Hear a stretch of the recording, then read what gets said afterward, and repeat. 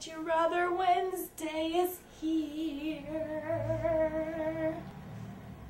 I'm very excited for Would You Rather Wednesday. And today's question is Would you rather have no elbows or no knees?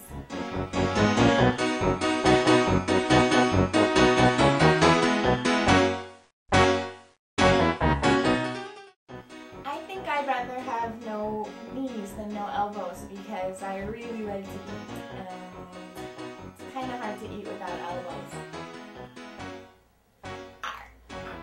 I love these cornflakes, but I can't eat them because they don't have any elbows.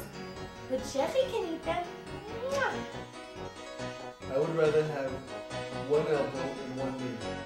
I would rather have two ankles instead of one knee and one elbow. I enjoy ten fingers and ten toes. I don't understand the question. I would rather have no elbows because with no knees, I can't walk around. And then I can walk around. But then with no elbows, I can't go like this.